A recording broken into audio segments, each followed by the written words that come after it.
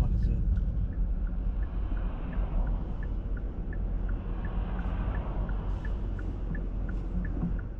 YouTube. Oh, das ist kalt.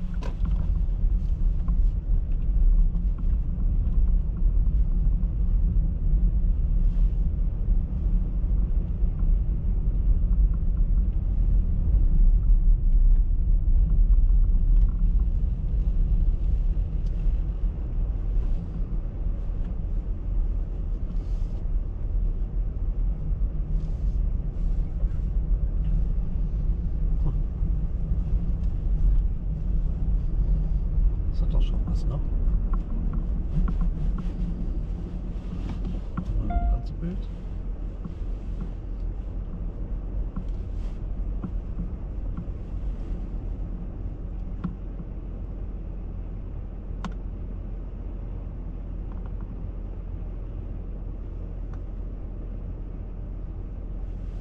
Das ist doch ganz geil, ne?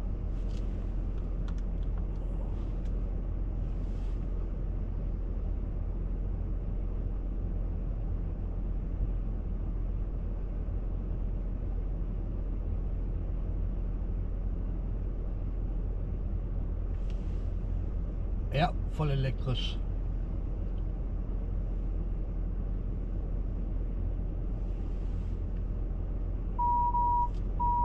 Verkehr hinten.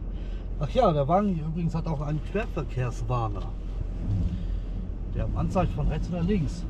Was du bei manchen Autos noch nicht mal als Zusatz bekommst. Und wie gesagt, komplett aus Holz die Kirche.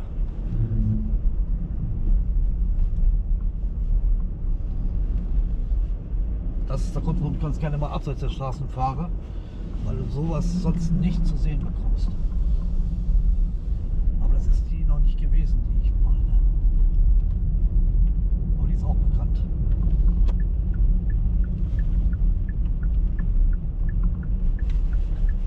Ja.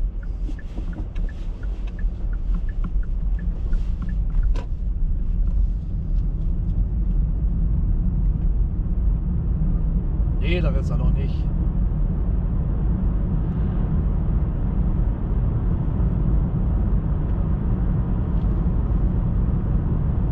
Hier, das ist doch wieder. Ah, Dieses Zeichen ist aus der Wikingerzeit und so weiter.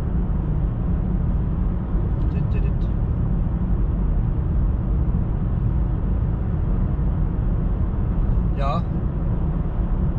Bild ist scharf, auf jeden Fall. Leider nur 720. Mehr Volumen habe ich ja nicht, sonst wäre das Ding schon durch. Wenn das äh, bei YouTube schaut, oben rechts den Chat ausmachen und dann ist da oben dann rechts dann das Zahnrädchen. Da drauf. Dann seht ihr äh, Wiedergabe irgendwas äh, mit der Angabe, wie es momentan läuft. Da drauf klickt die Auflösung. Und da kommt unten dann äh, erweitert oder sowas. Und dann sieht man, dann kann man dann auswählen, die höchste Auflösung, wo ich denn hier einspeise. 720p, also reicht für bis HD. Full HD wäre natürlich geiler, aber das würde ja volle Pulle reichen für HD, würde gehen. Äh, den Hyundai Ioniq kann ich nachher nochmal zeigen, wenn wir den laden. Dann nehme ich die Kamera nochmal raus. Das Modell, was nicht mehr gebaut wird. Leider.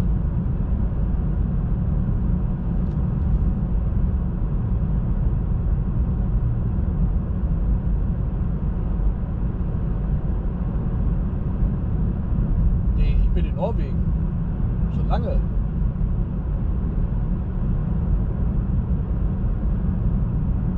Ach so, no, äh, ja, sorry, Clarissa, jetzt weiß ich.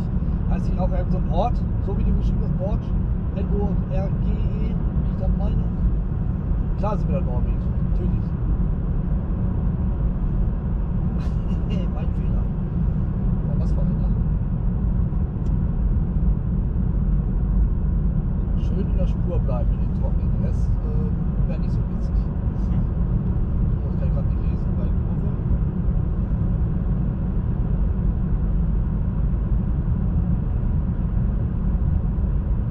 Ja, ja, genau.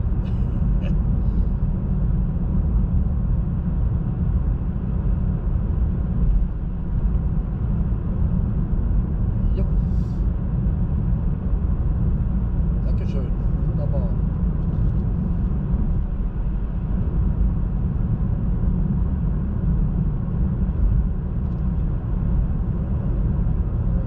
Ich kann nur mal lesen, ähm, ein bisschen, wenn die Straße ein bisschen gerader ist. Ja, ja, ich bin aber der Meinung, dass es auch noch einen Ort gibt, der so heißt. Daher.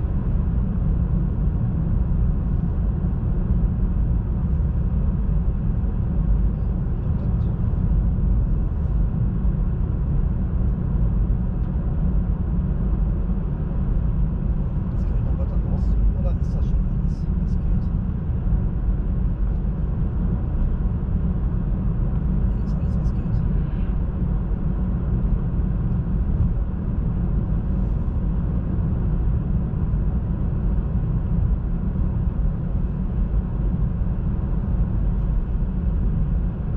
Ich glaube, hier fahren gerade 67 Leute mit.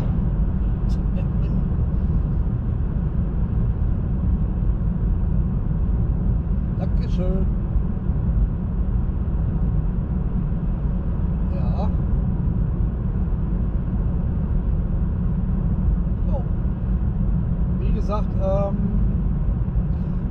ich bin vorhin rein zufällig an Stabkirchen vorbeigefahren.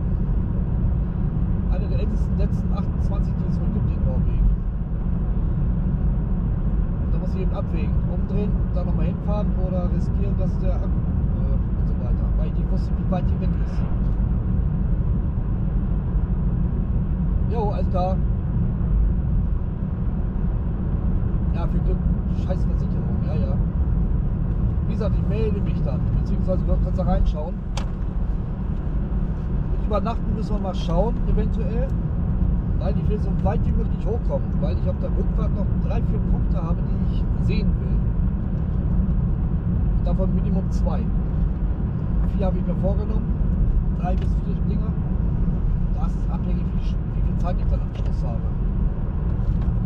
Und ich habe was mitgebracht, bringe was mit auf jeden Fall. So, die Straße ist hier nicht nass in der Mitte, das ist Eis. Kann man ruhig mit 90 hier lang gehen, oder?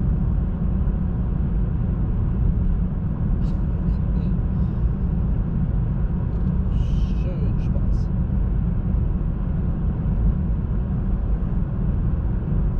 Aber mal so, wenn du jetzt die Spur nicht hältst, bis weiter zu weit rechts kommst, dann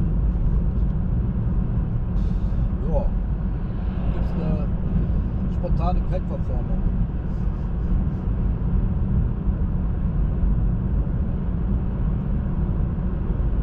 Ah, alles klar. Ja, Ines, das ist einfach nur sagenhaft und das wird ja noch besser. Das wird ja noch, das ist, ja, wie gesagt, ich kann es nicht beschreiben. Und wie gesagt, wenn du manche Häuser siehst oder irgendwie die Bauten, da weißt du ganz genau, aus welchem Jahrhundert das wohl sein könnte oder sollte. Da sind die noch mit Schild und Axt durch die Gegend gelaufen. Eigentlich waren die Wikinger mehr Siedler, ne? Aus Katan oder so. Die von Siedler von Katan. Teil 3. Witzig.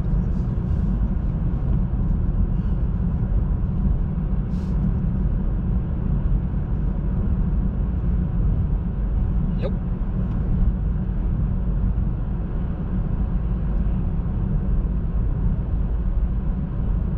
Wie gesagt, es wird ja nicht dabei bleiben, dass ich hier das Stück diese Straßen fahre.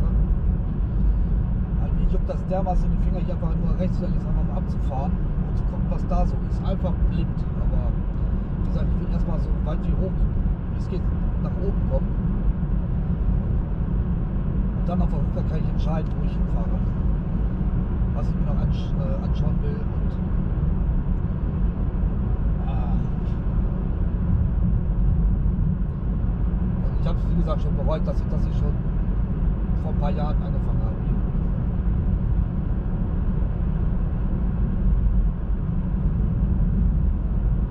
Moin, Krak Krakajali. Wie heißt das so? Ah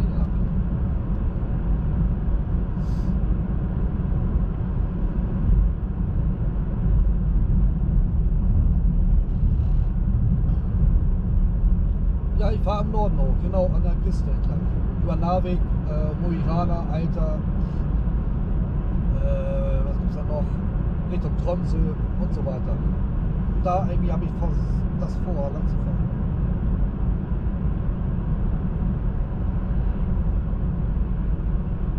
Atlantik-Küstenstraße, die unten äh, zwischen Stavanger und Bergen, diese 8,4 Kilometer, meinst du die?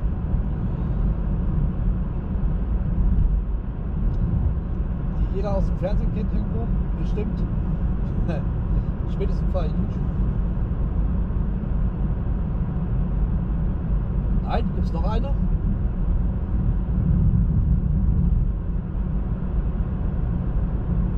Ja. ah, Pelikan, da bin ich mal gespannt.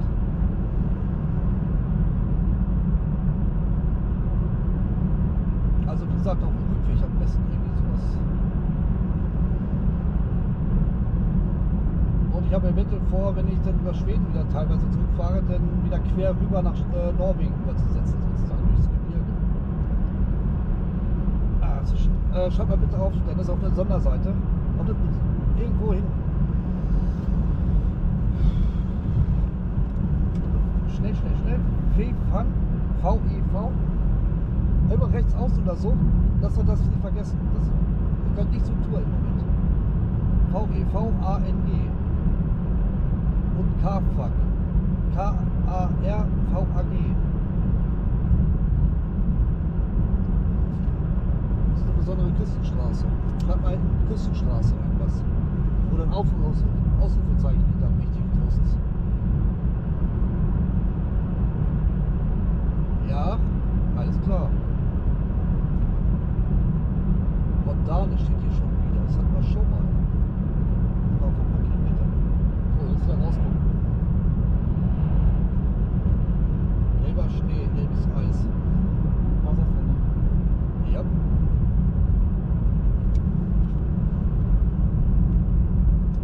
Könnt ihr aber einfach mal rechts hochfahren. Einfach mal.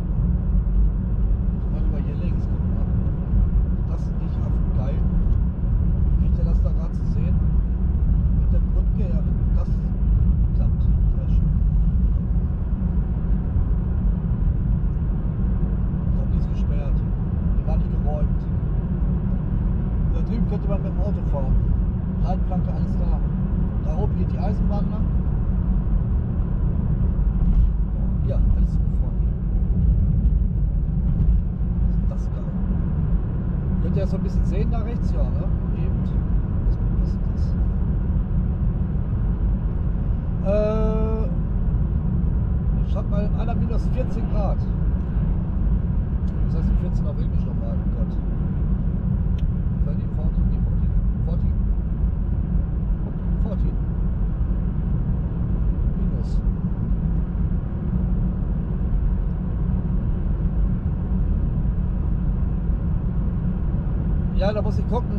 Wegen äh, Ladesäulen und so weiter. Im Donbass. Muss ich dir mal schauen. Vielleicht erinnere mich dann gleich, wenn wir da sind an der Ladesäule, dann gucke ich mir das mal an, ob das möglich ist. Vielleicht fahre ich da sogar lang automatisch.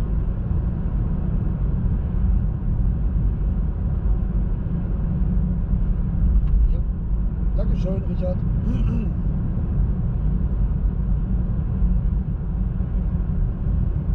Ich weiß gar nicht, ob ich, ob ich hier lang gefahren bin. Ist aber Richtung Norden, ne, Pelikan? Richtung Süden, oder?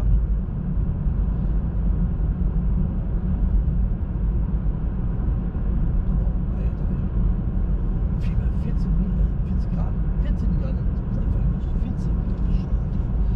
Ja, wann brauche ich sowas? Ja, jetzt zum Beispiel, Anna fragt.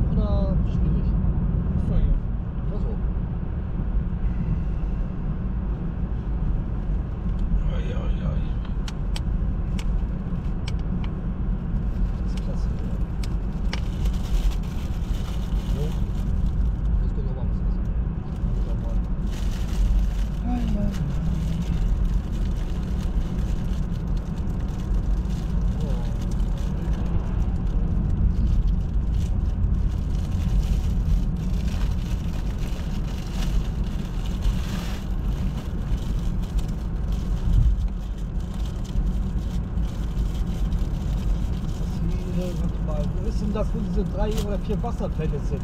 Aber da kommen wir nicht hin, das ist ja woanders. Ähm, das? Äh, irgendwas.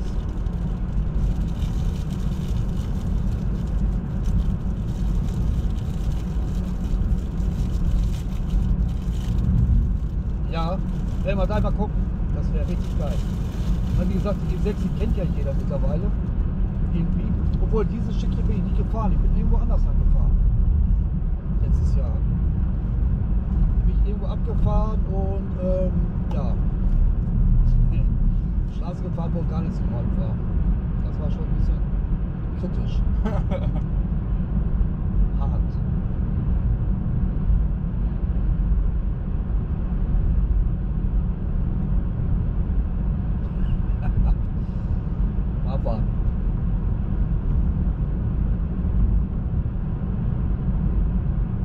Ja genau, sieben, nicht drei.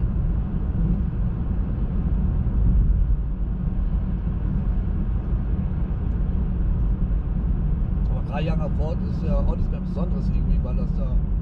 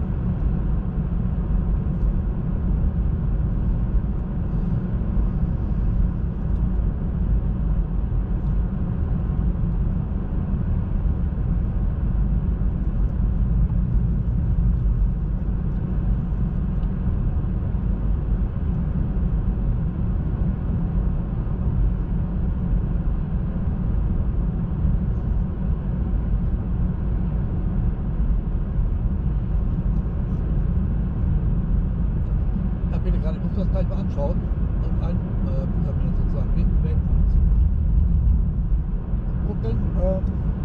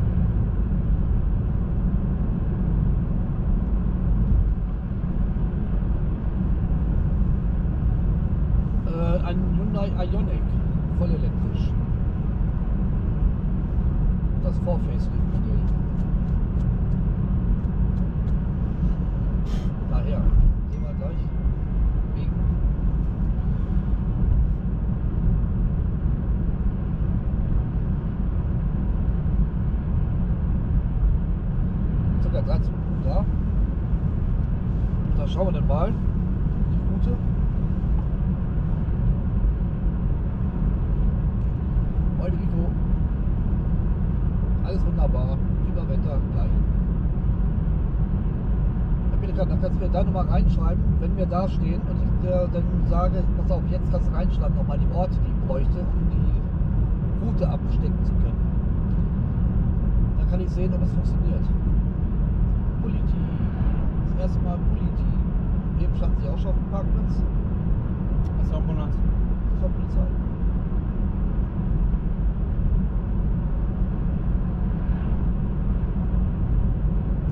Normal Politi.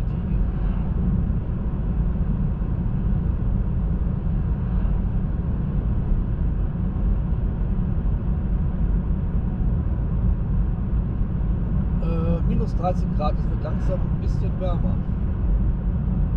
Nicht mal so eine Witze wie gestern Abend mit minus 28. Weil das war echt knackig da an der Ladessäule.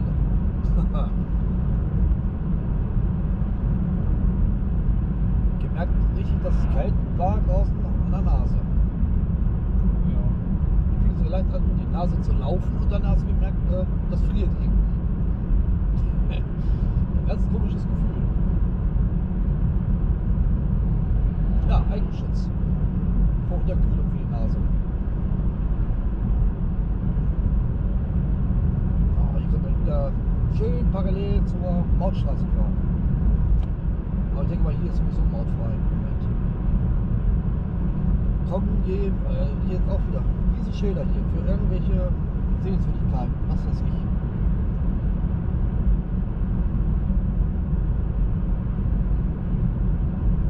Ja, richtig. Politik lassen wir bitte heute mal komplett raus in den nächsten zwei Tagen. Ja, wir sehen dann alles das Ergebnis irgendwann. Oder auch nicht.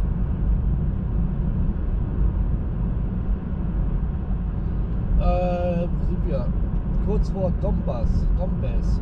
D-O-M, ne? Das A mit dem Klingel oben drauf und S. A wie Ä, also. Hab ich gelernt jetzt mittlerweile. Da steht's. Trondheim 210, Donbass 12 Kilometer. Auf der E6. Oder E5. Was ist das jetzt hier? E6, ne?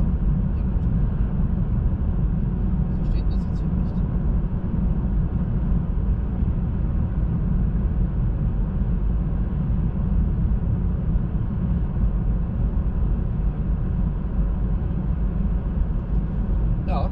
Genau, im Auto, wie ich anfing, die Scheibe zuzufrieren. Das kam mir vor, so wie bei, ähm, der, nee, wie heißt der Film noch? Mit dem Wintersturm? Ähm, ey. Wo die Hubschrauber dann da mal kurz einfrieren. Nee, sechs. So.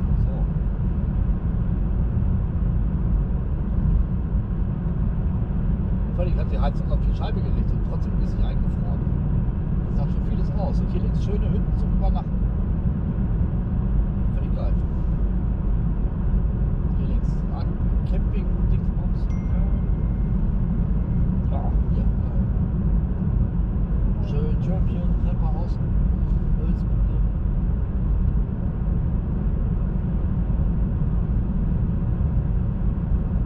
Ah, mit Kegel mit O gesprochen, Dombos. Also, du kannst auch gleich weglassen. Nee, Dombos. so, was war da oben?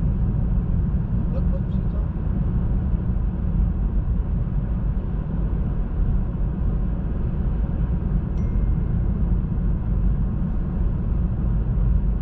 Ja, richtig, genau.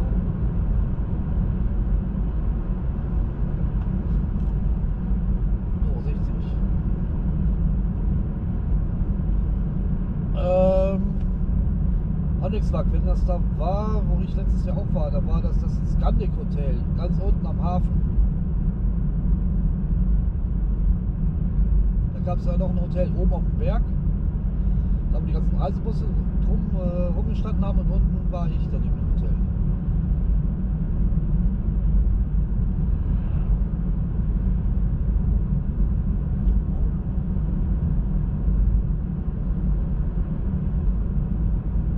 Ja, wo diese Hubschrauber einfällt, genau, in Sekunden, genau, genau.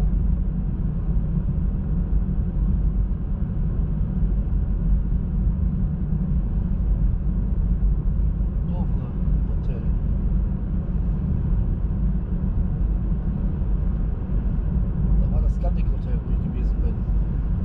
Kostete das Zimmer letztes Jahr 149 Euro.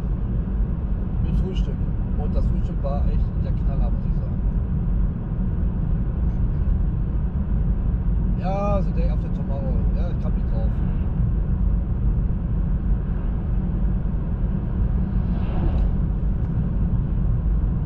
Ah.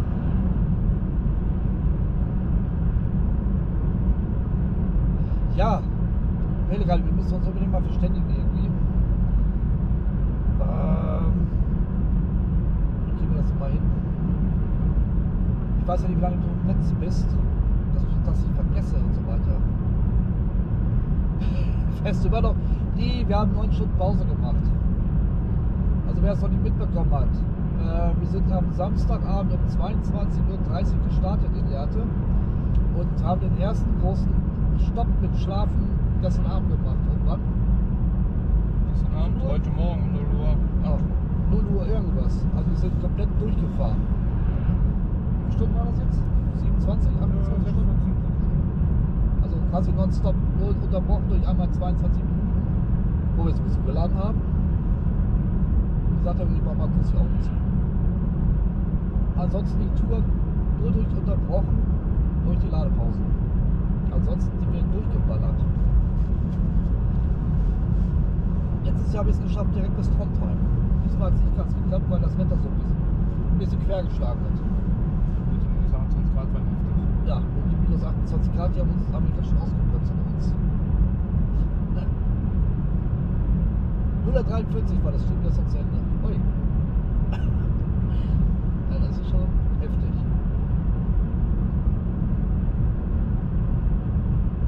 Minus 13 Grad. Wieder ein Grad warm, wärmer geworden.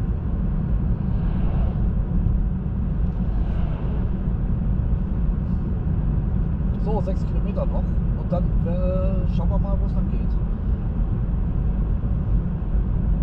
Das Land ist echt groß. Es ist wirklich groß. Also gut, sagen wir es mal so, äh, gut 3000 Kilometer in eine Richtung. Locker, wenn nicht noch mehr. Ja nicht vom Süden hochgestartet. Das ist ja doch der nächste Punkt. So, hier rechts können wir hochfahren. Nee, Doch, da ist doch frei, ne? Gesehen?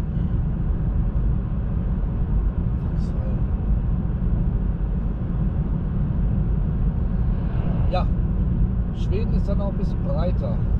Alter, hast du den Volvo gerade gesehen mit den vier fetten Scheinwerfern? Äh, wie geil. Wie gesagt, das seht ihr jetzt noch gar nicht, was da manchmal an den Autos für Lichter dran sind, wenn die in Aktion sind. Ich kenne das noch vom letzten Jahr, da siehst du, wenn die da mit ihrem Flutlicht ankommen, nur noch einen riesen weißen Kegel vorn vorne am Himmel. Tja. Und was kommt dir entgegen vor Fiesta oder so? Und du denkst, da kommt jetzt irgendwas richtig Fettes an. Nö. Dann hat er diese Leiste nicht unten an der Stoßstange, sondern oben aufs Dach drauf getackert. Völlig geil. Oh, mal wieder ein Tesla. Mal wieder ein Tesla. Lange nicht mehr. Nee, stimmt aber. Lange hier nicht mehr gesehen, Tesla jetzt auf der Strecke. Also ich muss hier echt die Spur halten. Ne? Alles andere wäre fatal. Bei freundlichen Kilometern gab es hier nur Gefühle. Ja. Wie gesagt, Rostow ist äh, Tesla Hochburg. War sowas von. Ne. Also sowas habe ich noch nicht gesehen während dem Parkhaus. Gibt noch ganz andere Sachen da.